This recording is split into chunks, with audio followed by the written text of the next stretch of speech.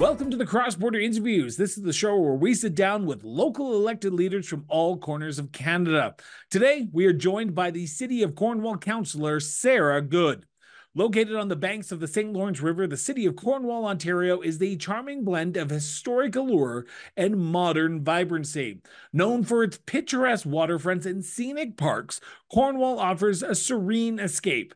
The city boasts a rich heritage evident in its well preserved architecture, including the iconic Cornwall Canal. As a close knit community, Cornwall thrives on a diverse cultural scene, hosting festivals and events that celebrate its artistic spirit. The local economy is bolstered by the industries such as manufacturing and agriculture. Cornwall's friendly atmosphere and stunning landscapes make it an inviting destination for residents and visitors alike. This is Cross Border Interviews with Councillor Sarah Good. Sarah, thank you so much for doing this. Greatly appreciate it. Uh, I want to start by getting to know the persona behind the councillor's name a little bit. And I start all my interviews off the exact same way. So you're no exception to the rule. Where did your sense of duty to serve your community come from, Sarah? Well, you know, I think I've always had a passion about helping people and doing the right thing. And when you look at, you know, municipal politics in particular, it is the level of politics that most directly impacts the people in the municipality. So um, I don't know that it's a duty that I feel, but I definitely felt a calling to do this. And, um, you know, I, I think that in conversations that I had with people over the years, it was sort of like an aptitude that I didn't really know I had. And uh, so one of the things that brought me to this was really having other people point out, hey, I think you might be good on council. Like you should consider running. And now I'm here. So I'm so, really enjoying it. I, I, did a little bit of a research on you. You first put your name forward in the last municipal election. So this is the first election that I can find that you put your name on the ballot, correct? That's right. Okay.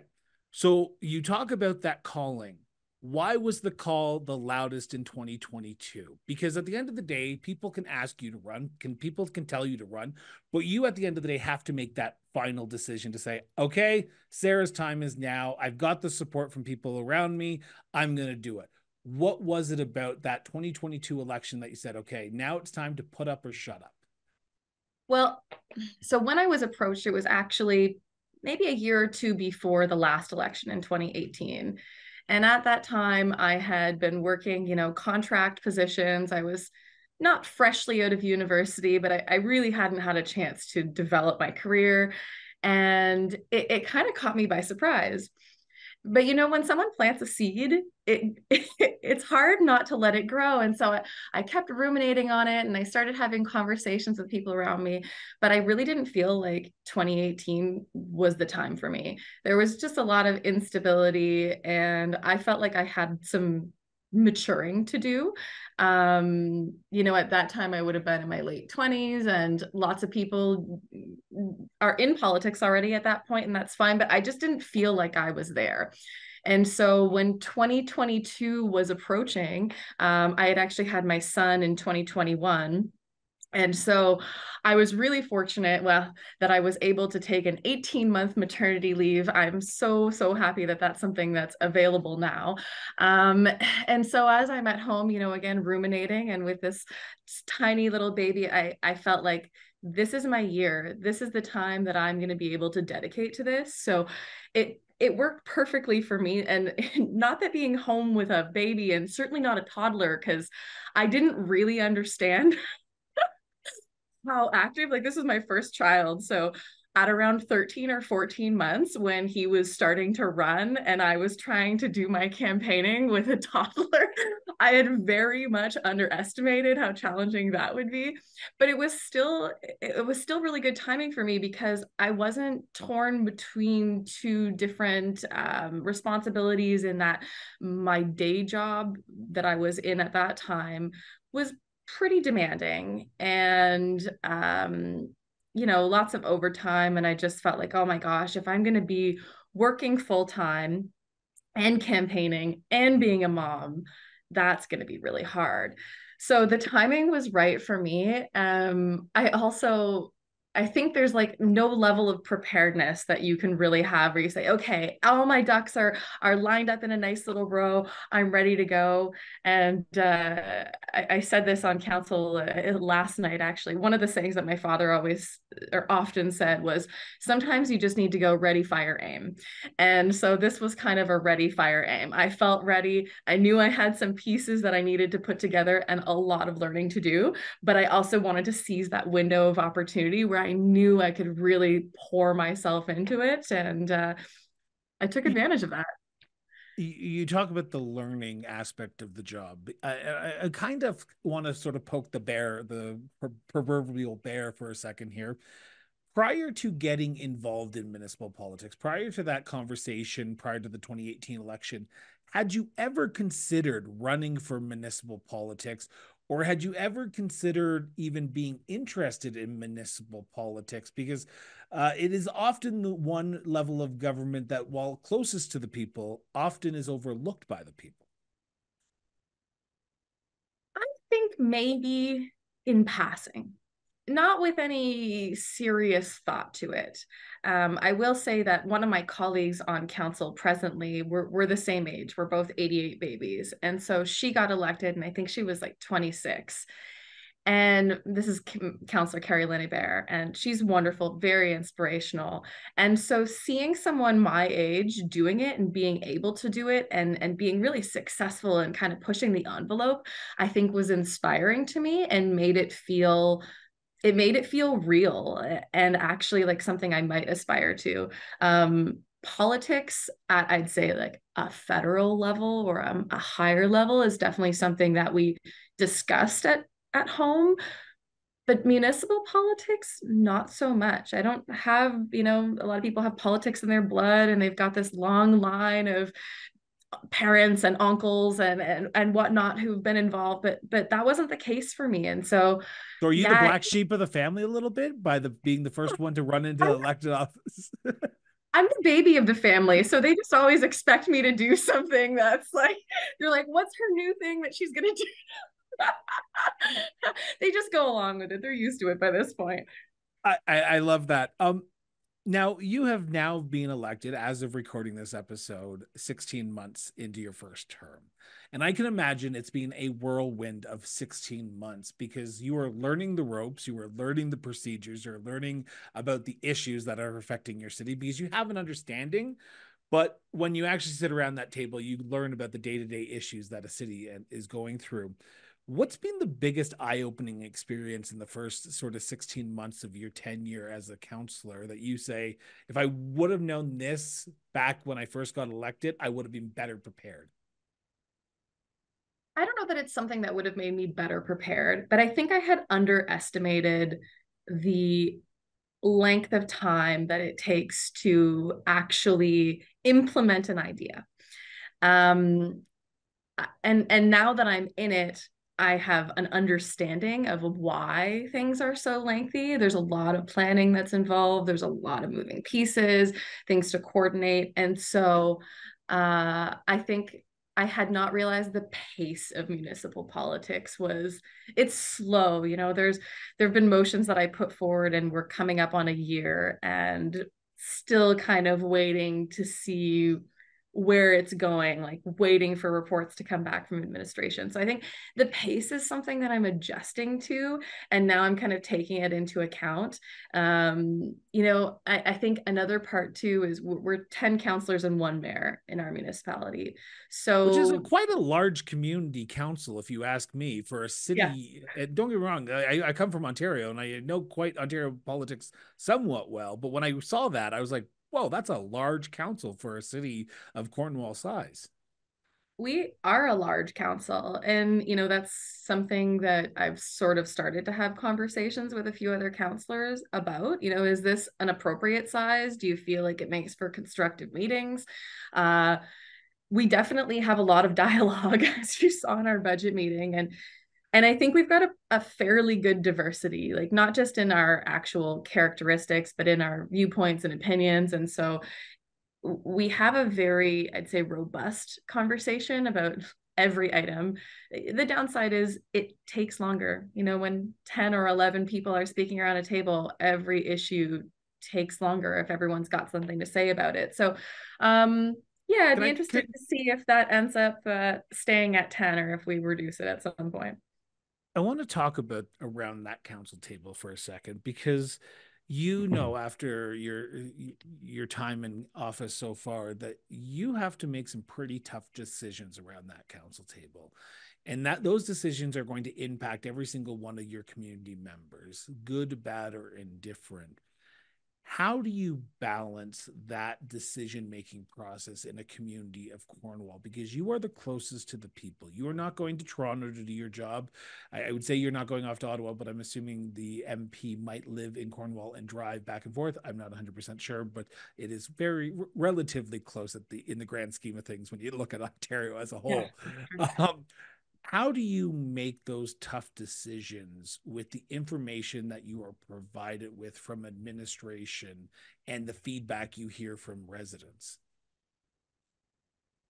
I mean, I think you hope at the end of the day you're making the right decision.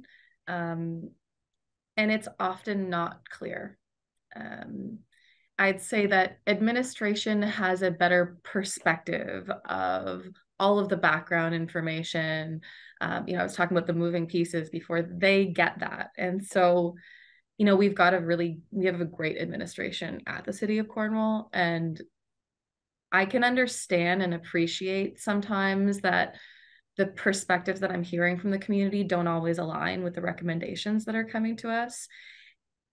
And so I think part of it is taking in that information, listening to what they have to say, finding the pieces that are valid. And, and you know, I'm not going to agree with everyone. No one, that's just not the way it works, right? But um, I think taking into account all the information that we're receiving and, and trying to make the best decisions, you know, you want to look at every decision in the big picture. Um, everything feels immediate to people. Um, but oftentimes, I'd say the more controversial items are ones that have the longest lifespan and that you know for instance uh, in our last term we approved a budget for an arts and culture center which is going to be right downtown. It's going to be a black box theater with gallery space and um, like workshop space upstairs and it's been in the works for so many years. You know there's been countless hours put into it volunteer hours and and over a million dollars already raised for it. So when this came to council uh, it had come a, a year or two prior with a much lower price tag. And i want to say oh gosh i can't remember the price tag offhand. It's either 12 million or 16 million but lot a lot of money a lot of money. And so you know you get conflicting messages because there are some people that want it and some people that don't. And i think it's not essential but it's something that really enhances the quality of life. It enhances our tourism. It really makes our city a better more desirable place to live. And so you've got to you've got to weigh and balance and it is a lot of money but it's something that's going to enhance the quality of life. And there and there are you know countless things like that that come up at various price tags. And cornwall's not a unique island in that situation either. No. every municipality struggling with that. Um you talk about hearing feedback whether it be good or against an issue or for an issue like that art center in your time in office, are you finding that people are actually engaging with their local municipal politicians like yourself and giving their feedback on mm. issues that are in front of council? Or are you seeing an apathy in uh, sort of what's going on at City Hall that I'm seeing across this country? I don't really see an apathy, but I do see a disconnect. Ooh, that you know okay. sometimes people are like you guys should be you guys should be implementing an organics collection. And i'm like well we are. And we've been discussing it for you know years now. And it's mandated by the province it's coming in 2025 but great idea you know? So people are like really upset about things that are happening. Um, so they're not apathetic, but I don't know that they're really doing their research and paying attention to the discussions that are taking place around the table. Uh, I put forward a motion last year that was around um, tree cutting, a tree cutting bylaw. Uh, we've got so much development and we've just seen like mass deforestation. There's we've had such a loss in our tree canopy. And so we've got to figure it out. And people like, what are we doing about our tree canopy? Because it's visible. You know, you drive around the community and there's just swaths of land that are now barren or you know especially when you see them and it's just trees knocked over and they're not even cleared yet it, it it's very uh it's jarring to see. So people are like well what's what is the city doing about clear cutting? And i'm like it's happening. But again the pace is slow. It it it takes a while for things to get done. So I'd say they're not apathetic. I definitely get called out on Facebook, I'd say more than anywhere else. Um, and I'm actually one to answer my phone. It's something that I know in my generation, certainly people are, they screen their calls. I just answer it and it could be spam, it could be whatever. And, uh, you know, so I've had a lot of opportunities over the last 16 months or so to have conversations over the phone with residents. And every time it happens, people are so appreciative to just get a response um, just get to get a response even if it's not the response that they want really. Um, so how so much is how much is it i apologize how much is it that they uh it's not the response that they're looking for but how much is it actually they just want to be heard because you are the closest to the people. You will pick up your phone. You will answer those Facebook messages, I'm assuming, when people send messages to your social media accounts. How much is it that they just want to be heard by someone in an elected official position because you are the closest to the people that they're willing to even discuss these issues with you? I don't know that I could quantify it. I, I think it's a pretty big portion, um, but there's a difference between people reaching out directly, whether it be by phone or by a direct message, and or people just like writing an angry post and tagging you in it. What and, people are angry on social media, counselor? What are you talking know, about? 2024 is all sunshine and roses. They actually, it's always complimentary posts. They're like, Cornwall City Council is the best. Sarah Good is so good. Yeah not a lot of that unfortunately. Um and, and, i'll be honest like i don't really want to engage in that kind of dialogue because i feel like it's so you know you had we had spoken right at the beginning about you know not cutting things so that that you know our discussion isn't taken out of context. And i think social media is like the absolute perfect example. And the few things that i have commented on in regards to you know um, something that's come up on facebook constructively you know i suggest that you come and attend our next council meeting or or come and speak to us about this issue because it, it actually is being worked on, then their comment gets deleted. and I'm like, oh, I just look like I'm talking to no one all of a sudden. So uh, I've stepped away from doing that. I realize it's not constructive and it's not a productive use of my time.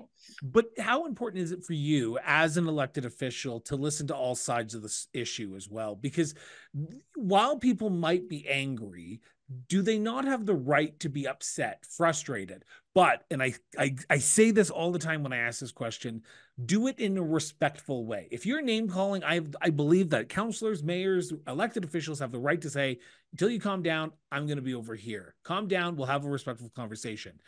Is it important to listen to all sides, even the ones who disagree with you on issues that you have voted on, whether it be a budget increase, whether it be funding for a certain project, that you say at the end of the day, you know what? I'm your elected official. You might not have voted for me because no one ever gets 100% of the votes. Even those who are acclaimed never get 100% of the votes because they were acclaimed. So we would never know.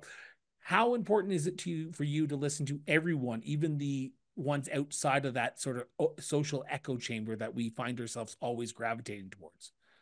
I think you nailed it on the head with the social echo chamber. It's incredibly important. And really, I almost value more hearing the perspectives of the people whose viewpoints are, are, are, different than mine, because that's where you learn, right? I'm not learning new information when I'm sitting in an echo chamber. So um, I'm very open to having conversations with people uh, who have uh, opposing viewpoints. And I definitely think, you know, there's, it can be done respectfully. And I have to say, during the campaign, even like before being elected, I had had some really good, candid conversations um, with people who I disagreed with. And I think those people actually supported me more after having those conversations because there was an honesty to it. Like they can tell I'm not placating, I'm listening I'm open and I'm and I'm interested in in the rationale and and sort of the reasoning behind why they feel a certain way. Um, and I'm open, you know, in the sense that I, I've heard some members around council say, "There's nothing you can do to convince me otherwise," and I just I don't feel that way personally. Like if you actually give me a convincing and compelling reason to vote one way or another or why something is right or why something, you know, should be changed, I am open ears. Like I want to have all the information. I don't want to sit there with just a little piece of information and say, well, I'm right. And I'm going to be up on the top of my little hill here. Um, we're representing the people who elected us.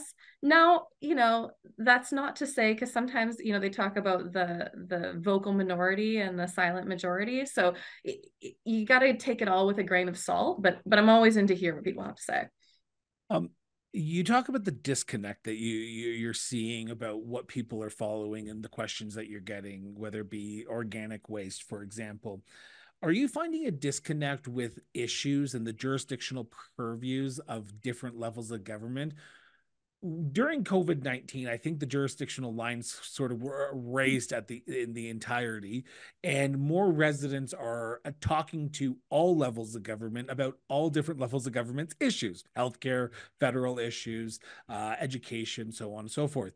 When you are out, are you hearing people to only talk when they ask you about important topics about issues that are per, uh, pertinent and in the jurisdictional purview of the municipality?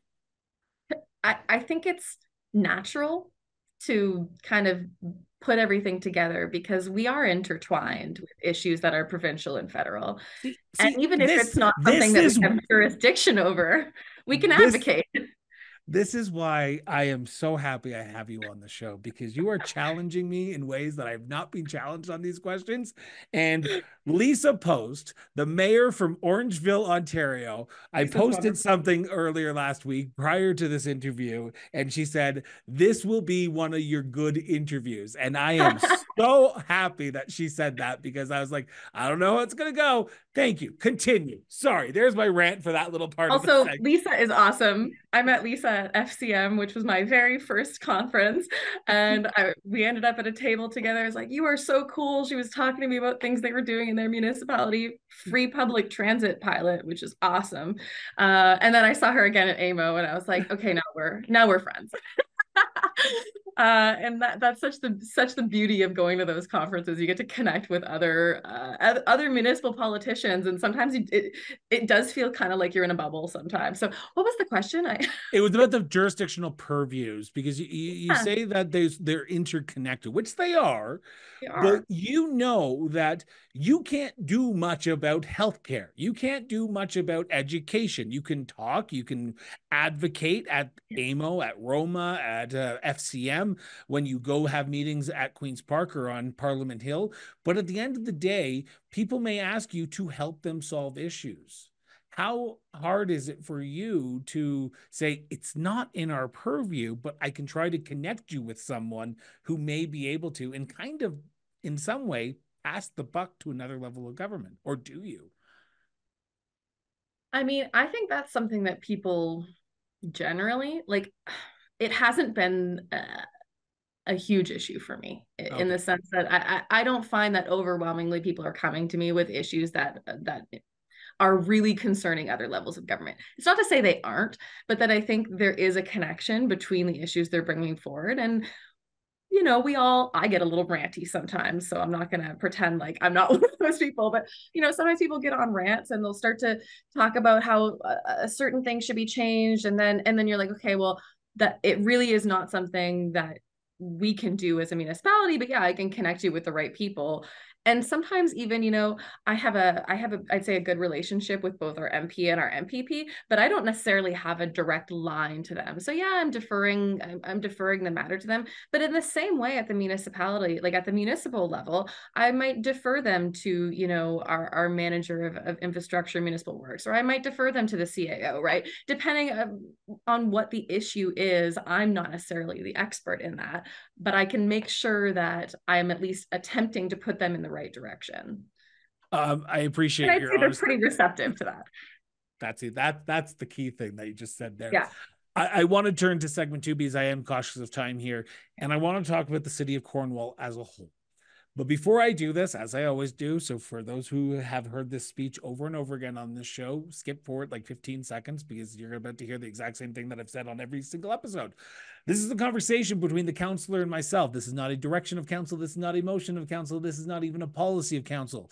The counselor I'm speaking to is one vote on a council of 11 people. That being said, counselor, in your opinion, your opinion and your opinion only.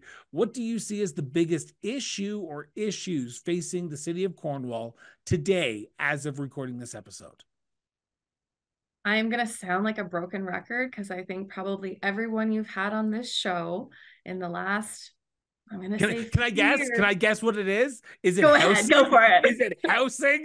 It's housing. How did you know? housing affordability. It's huge. Uh yeah we like many other municipalities have since covid seen tent cities popping up for the very very first time. In cornwall we had never had visible homelessness. And that's not to say that we haven't had homelessness but we haven't had people visibly on the streets. And um, so it's been a real like shocker to our community. And i think people are are rightfully feeling like what are you doing? What are you doing to solve this? And so gosh if i could wave a magic wand and i could construct all kinds of social housing i would and we we are but you can't it, it's so impossible to keep up with the pace of things. And you know talking about different levels of government this is not an issue that our municipality can solve single-handedly. It's a national and international issue. I don't think we're alone in it. Um, my opinion and my opinion only. I don't know, reform capitalism. I don't know. Just being silly, but no, no, I I I uh I will follow up though on, yeah, on this go ahead. of question because I think this is an important topic that a lot of municipalities are struggling with right now. Now you you just basically hit the ha- hammer right square on the nail's head right there by saying this is not just a municipal issue. This is a federal. This is a provincial issue. Yes, even an international issue but the municipality has its role to play planning, zoning. So give me a silver lining that the city of Cornwall is setting up the future of the city of Cornwall to ensure that when those developers start putting shovels in the ground, if they haven't already, the city will be prepared with infrastructure projects, with uh, uh, social programs to ensure that the growth doesn't come on the back of the people who are currently in the community. Yeah, absolutely. Um, so there's a few... you, you just went through a budget cycle, which I'm assuming this was probably talked about not only in the open but in closed session as well. That you have to balance the needs of the the here and now with how you want to move your city forward. For sure. So, I mean, there's so many different aspects to it, right? One is just social housing, like our direct investment in housing as a city. Um, another, um, it was actually a decision that was made prior to me be- becoming on council, um, was that we identified a few properties that had been undeveloped for a number of years that were in key locations in the city um, and designated those under a specific community improvement plan where basically they have a 90% reduction on their property taxes for 20 years. So it's a significant cost savings in order to encourage them to build. And part of the stipulation is that in that is that they need to have a cer- um, certain minimum number of affordable, which is 20% below market rate housing. Um, and so we have one that just finished construction this year, and it's literally at the main intersection of our downtown. So it's it was lit, it was an empty lot for 15 years. I think we're all really happy about that. So working on densification, there's another one that's right by we've got St. Lawrence College in our in our city and so there's another one right across the street we're looking at how to increase the density of these buildings so that we're we're you know favoring infill. Uh, but we have a lot of work in terms of actually cleaning up our policies and our and our zoning. Um, we had a proposal that came to us at our last uh, planning advisory committee uh, for an 18 and 21 stout 21 story tower combined building. Um, and i'll tell you the council chamber was full um, most people spoke against it because it's such a striking contrast to the the height of, of the surrounding area but it's also on a formal industrial site that again has been vacant for a long time. And it and it it supports you know density it supports public transit they aren't specifically adding in affordable units, but just putting it on such a small footprint, um, it, it's something that I support. And I, and I, you know, we had talked earlier about listening to other people's perspectives. Um, I appreciate where the perspectives come from because they're, you know, the shadow effect is real and, you know, you want something that's not going to um, feel totally out of scale and and just not fit within the city. But at the same time, currently our uh, our bylaws stipulate that I think it's 100 feet, so roughly 10 stories is the max height in the city. So we're doing a review. That was something that came up um, during our strategic planning session, um, is how we can actually review our zoning bylaws to ensure that we're favoring, you know, densification, infill, and uh, and affordability as much as we can are, are in I, I, know you probably don't you as a counselor you don't get into the weeds of what's going on through administration but are you hearing are you seeing a more influx of people wanting to come and build in cornwall than say five years ago 10 years ago 20 years ago. I know you've only been on council for roughly 16 months but uh, are you getting re- reports from council saying we are seeing a spike of people wanting to come to our city and move here because we have a quality of life that other areas in our neighborhood don't might not be able to offer so they're looking for a place and they're willing to build here or even move here with their family okay two sides to that. So we've been just shy of 50,000 for ever. Yeah. Like as a kid, it was like 46 and change, and mm-hmm. now we're at 48 and change. And I think over the course of the pandemic, um, it really felt like we had a lot of new people who had come. We have a very, our, our housing is very affordable comparative to the rest of Ontario. And like, you know, we have our own, obviously, I'd say we have a very high quality of life in the city and proximity to Ottawa, Montreal, and we're literally right on the on the border of the states. So geographically it's an excellent place to be. And i think we were all shocked when the census results came out and we had increased by just a very marginal percent. That being said um is it because of the lack of availability the housing availability or are there are there houses available there there's houses available. I mean, I mm-hmm. every year there's a new suburb that's either being built or expanded. And so, you know, that's because we're a small urban, it's been expansion out rather than up. And so I think we're kind of hitting that threshold now where that expansion is moving up. It's still moving out, but we're looking at how we can protect also our green space because we don't have much protected land other than some stuff that's been designated uh, you know significant but um, we're going to have to do a lot of planning around what does our city actually look like as we're anticipating seeing this influx uh, in newcomers to our to our city. Speaking of newcomers, we have a, center here that uh, is accepting um, newcomers and, and refugees. And so a lot of them have actually resettled in the community, which has really changed the diversity of our community. And I think for the better.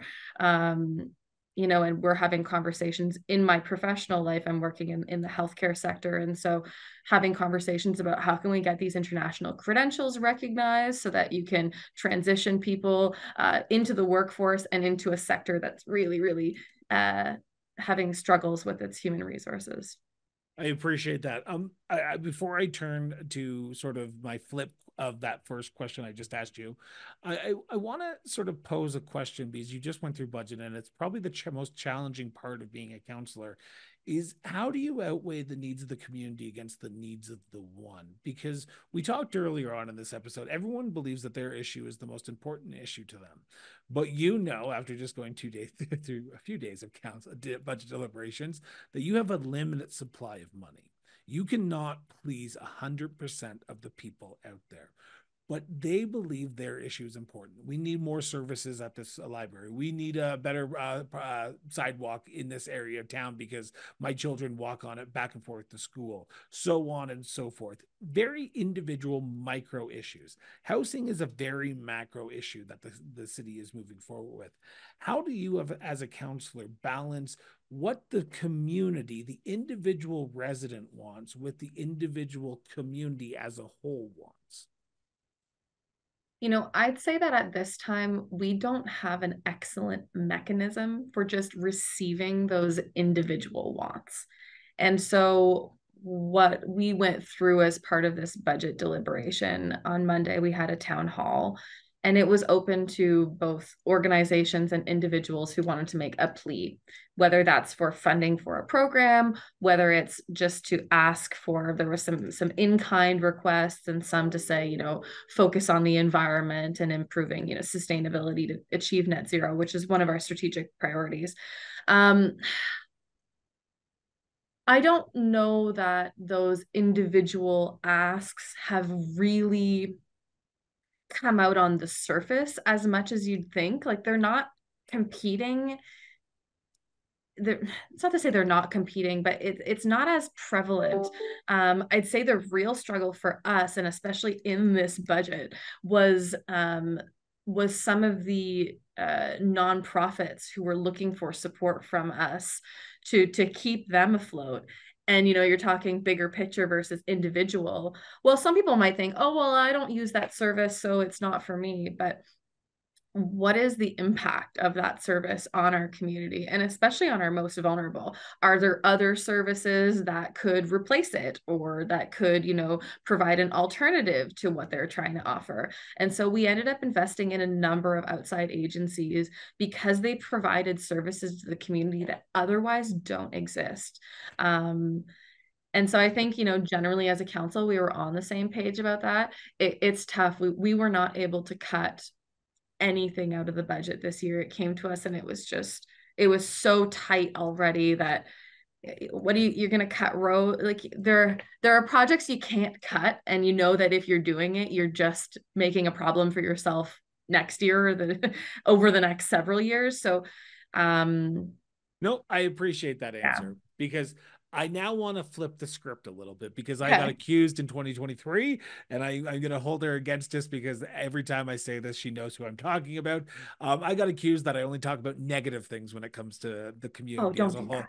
I know. So I'm going to flip the script a little bit and say, what do you boast about? So you just boasted about Orangeville's free public transit system that they are piloting in Orangeville, and that is at the uh, request of council. What do you do when you go to Roma, AMO, FCM, and you boast to other municipal leaders about what's going on from an administration and a municipal standpoint about what they're doing right? So, what administration is doing right, or the or the the town as a whole? Like, what hmm. does what what program is the thing that you boast about, or what service is the one that you talk about the most when you say to other municipalities, you know what, you're doing it okay. Cornwall's doing it better. Gosh. Um, I'd say we have some really good recreational uh, assets within the community. Um, we've got a multi sports center with several hockey rinks at the Benson Center. We've got our civic complex that is an event center, um, and that's located in Lamoureux Park, uh, which is a massive, massive open green space. We have tons of events that take place in the city, uh, and definitely, you know, le- before COVID, every single weekend there is something going on in the park. I think from an administration perspective, um, we've had a lot of change since I've come onto council. So when I when we were sworn in, it was announced to us that our CAO was leaving and moving to the surrounding counties. So we spent the next several months with an interim CAO going through a recruitment process, and we were really lucky. Um, I, am very happy with our new CAO, uh, Mathieu Fleury. Uh, he was a previous councillor for the city of Ottawa for three terms. Very very intelligent. Um, he's got great innovative ideas, and so he started in at the end of August, and I I think everyone is noticing a transformation. And you know, it's tough because I wouldn't go to another, I wouldn't go to Roma and be like, oh, our CAO is so great. But at the same time, I think it impacts it impacts how everyone works and how everyone feels. And I think they're at least from the outside, not the outside, but I'm not working in city hall every day yeah. right? So when i when i show up um i feel there's a different energy there. And i think having that stability now of of a new cao and having um some of the previous policies that maybe you know were a little outdated or hadn't been reviewed in a long time there's now this big review that's taking place. So i think we're going to be a lot more efficient.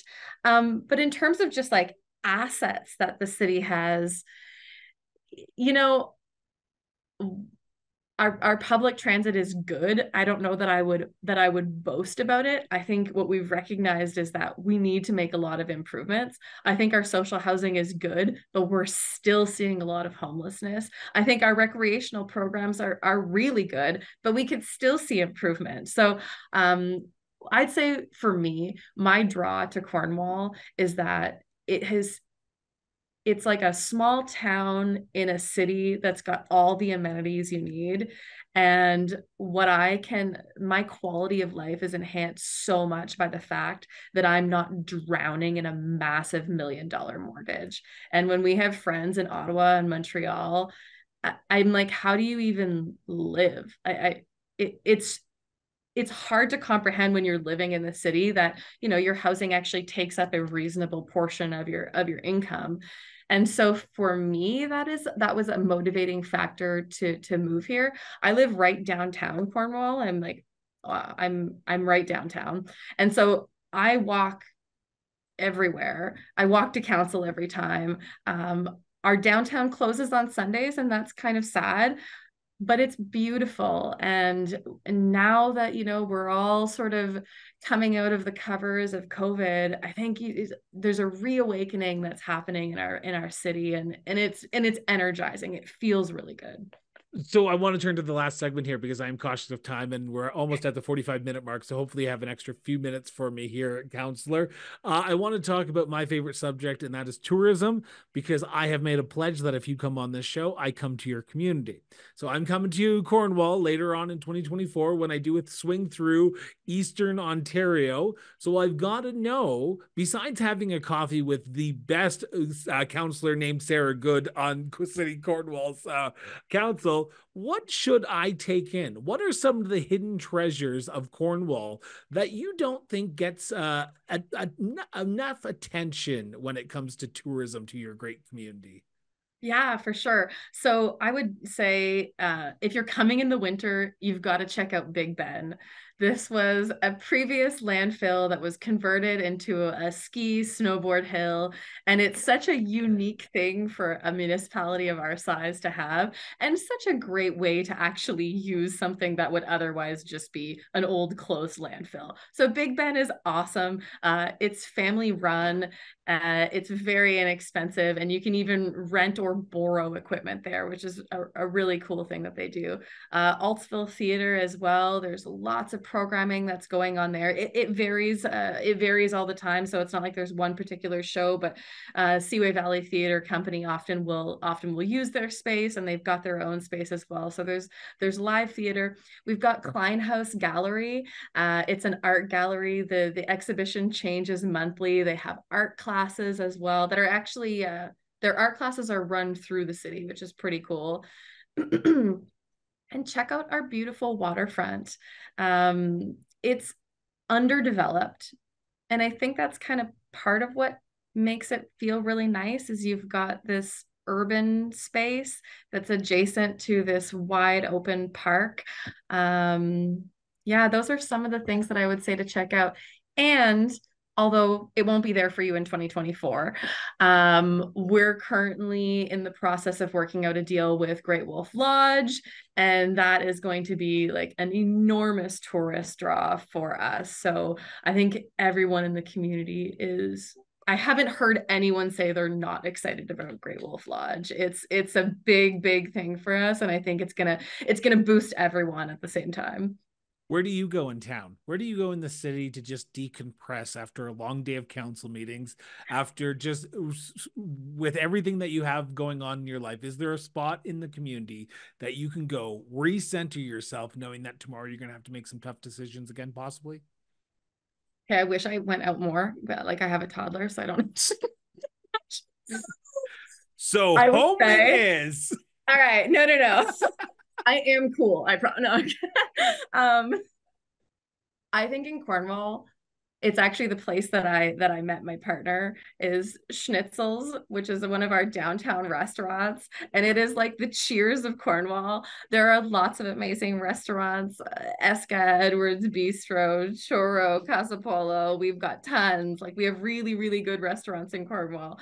But Schnitzels is just a few blocks from my house, and like I said, it's the Cheers of Cornwall. You go in and everybody knows your name, and it's so cozy you know, nice banquet on the bar side. So that's definitely a spot that I would go. I'm also right next to the library, and we've got a beautiful library too. That uh, there's, yeah, the library is right in our downtown and it, it's a beautiful spot so i'm glad that we have have that but i'm i'm definitely one to to hang out at the bar side at schnitzels i can't wait to visit schnitzels yeah. in cornwall in 2024 my last question for you counselor before i have to let you go and we started talking about you we're ending by talking about Cornwall.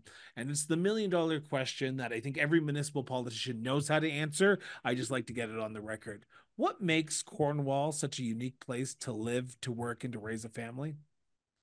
Cornwall's a really supportive community. It's got a small town feel with big town amenities, and we're close to everything. We're also bilingual.